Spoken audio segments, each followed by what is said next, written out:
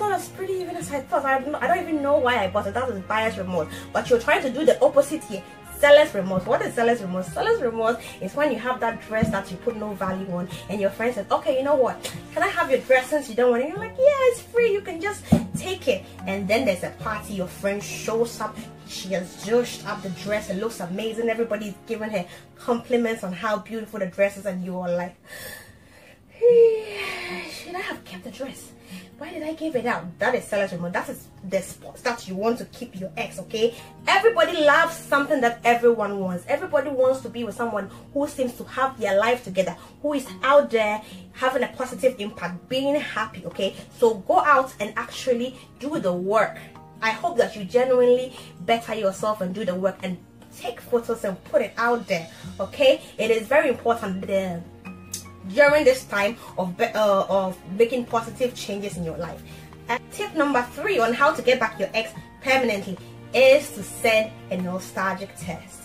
It is very important. Out of nowhere when you're ready, you know that you have done the work on yourself, you've made positive changes to yourself, and you're feeling confident again, and you have all these things going for you. Maybe you started a new business, maybe you're taking classes, you've gone back to school, maybe you're writing that book that you've always wanted to buy, you are in a right, you're in the in a happier place in your life. This is the time to get back in contact with them. Out of nowhere, send them a few good text Example, somebody may ask, what is a feel good text or a nostalgic text? Example, you can say, you can shoot them a text and say, hey, so um, there's this new guy who just came to our office and he's he's he wears your favorite cologne and it always whenever he comes in it always reminds me of you just letting you know have a great day guaranteed to bring back some memories and at the same time make put a smile on his face. Another example of a text you can send is hey so i just found out the lakers are playing this weekend uh, at so and so place and knowing how much you love the lakers i just wanted to let you know it's just reminded me of you. A feel good message here. What you are doing is you are sparking nostalgia in them at the same time you are you are reminding them yeah that is reminding them of a good time they had with you and it's literally it's it's guaranteed to put a smile on their face and that is what you want to achieve you can also there's another form of text that you can also another type of text message that you can send them is um, a message that will again bring back memories and also spark a little bit of jealousy in them. Listen, a little bit of jealousy goes a long way, you know. You can say something like hey so you remember the um, you remember last year when we went to greece? Do you remember that restaurant that we visited? Do you remember the name of the restaurant we went to? Because i'm taking someone i'm going there this weekend with a friend or with somebody and i wanted to take them there. What happens? You have given them a memory of a good time and at the same time you begin to wonder oh, who is she taking there? Who can it be? Is it a new catch? What is going on?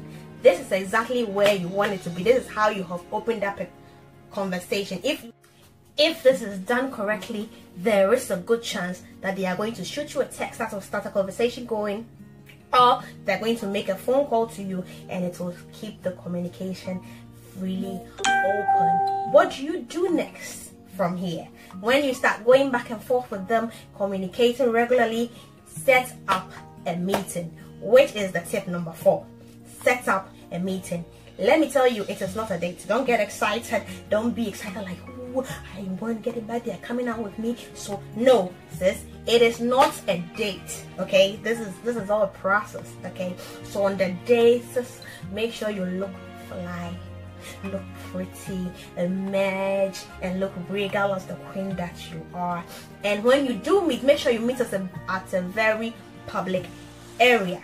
Don't go to some local corner corner restaurant and be in some isolated place. No, set up the meeting for a very very open area. And when you show up, keep the conversation very light and hearty do not ask questions like who are you dating right now? What is going on? I was so sad when you left. None of that girl. Just take the opportunity to talk about life what you have been up to the positive things and the positive changes that have gone on in your life. You can even take the opportunity to say, listen, this breakup I feel was a blessing in disguise because it gave me time to really work on myself. And I think all this has really impacted me positively.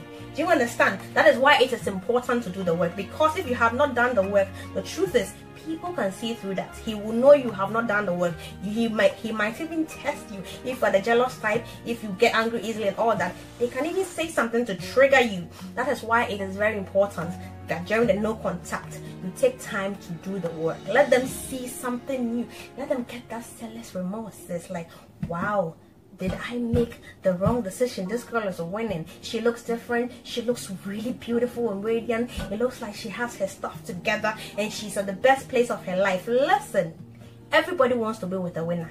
Everybody wants to be with somebody who is happy, somebody who is radiant, somebody who everybody wants. You understand? You can even throw in that, oh, this relationship, you didn't even know that you still got it like that. Like, this breakup has even afforded you the chance, like, people are coming at you and you didn't even know that you were so hot in these streets. You can say something like that, okay? And if you do it really well, there's a good chance that they will give you positive hints. They will try to get back with you. And make sure when you meet them, be a little flirty.